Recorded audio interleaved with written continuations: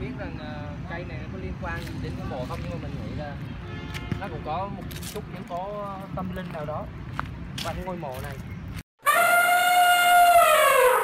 Xin chào mọi người hiện tại thì mình đang đứng tại uh, 70 Nguyễn Tất Thành nơi được cho rằng là có một ngôi mộ của công an Ba Thuộc và để đi được đến đây thì uh, từ ngã 6 các bạn vòng ngược lên thì sẽ gặp một cái ờ, bức tường ờ, dạng tường cũ kỹ như vậy đó.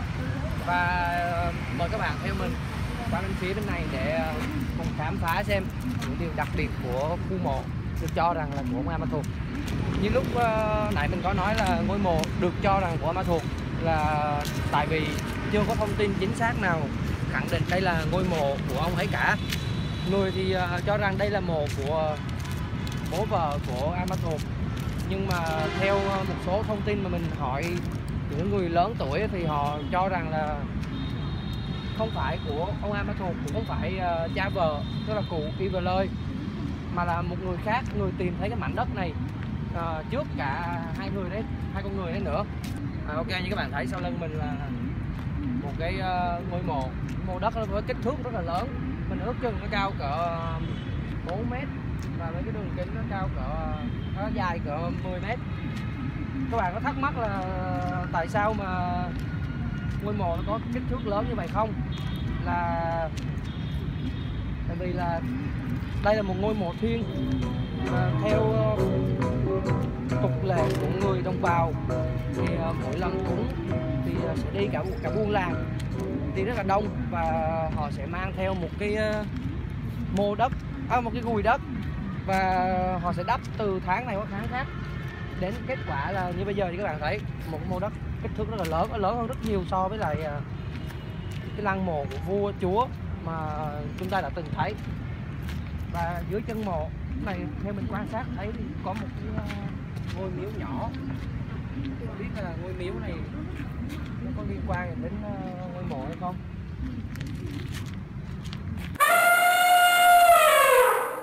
Theo như mình biết thì cách đây gần 10 năm thì người ta có một cái dự án định xây công viên mang tên Amazon tại cái vùng đất này. Nhưng mà vì uh, lượng thông tin chưa chính xác chưa xác thực được đây là có phải mồ của Amazon hay không. Cho nên là dự án nó bị ờ, bỏ ngỏ. Và như các bạn thấy phía tây nam của ngôi mộ thì hiện một cái ờ, cây cổ thụ rất là lớn. Mình không biết rằng ờ, cây này có liên quan đến cái mộ không? Nhưng mà mình nghĩ là nó cũng có một chút yếu tố tâm linh nào đó. Quanh ngôi mộ này.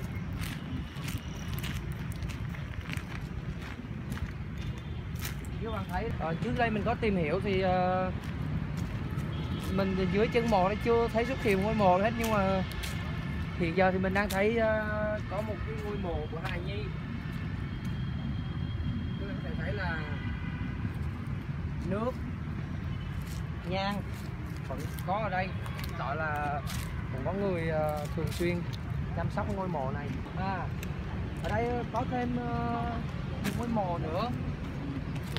Theo như mình thấy thì ờ, đây là một ngôi mộ của liệt sĩ. Bộ đội Nam Tiến năm 1945 của liệt sĩ Hoàng Ninh trên mạng thì mình tìm hiểu thông tin thì không thấy nói gì về ngôi mộ này mình thắc mắc là tại sao mà ngôi mộ liệt sĩ được tìm thấy mà mà không ờ, tập kết về nơi khác mà lại ờ, vẫn để còn dưới chân mộ? Thì mình nghĩ là trước đây là do cái vùng đất trước mặt mình đó, là một cái ờ, sân bay quân sự. Cho nên là tạm thời để anh nằm ở đây.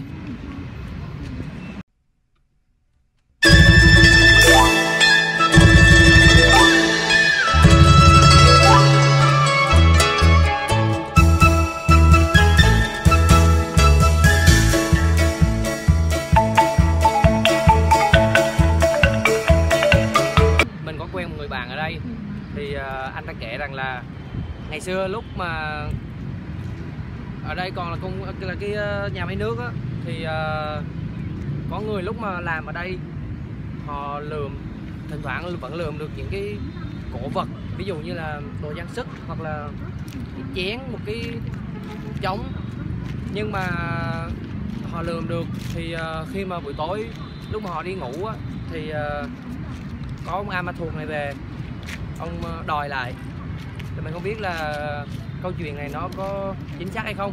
Nhưng mà mình ờ, đã nghe đi nghe lại rất là nhiều không chỉ bạn mình mà còn ờ, một vài người khác nữa. Thì ờ, ở video clip sau thì mình sẽ trực tiếp đi hỏi những cái người dân ở đây xem câu chuyện đó nó có đúng có chính xác hay không. Thì rất hy vọng là các bạn sẽ like, subscribe và chia sẻ cái video clip này để có được những thông tin bổ ích ở những cái clip tiếp theo. Chào mọi người.